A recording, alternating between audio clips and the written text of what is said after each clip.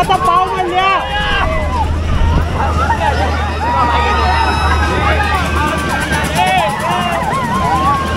அதெல்லாம்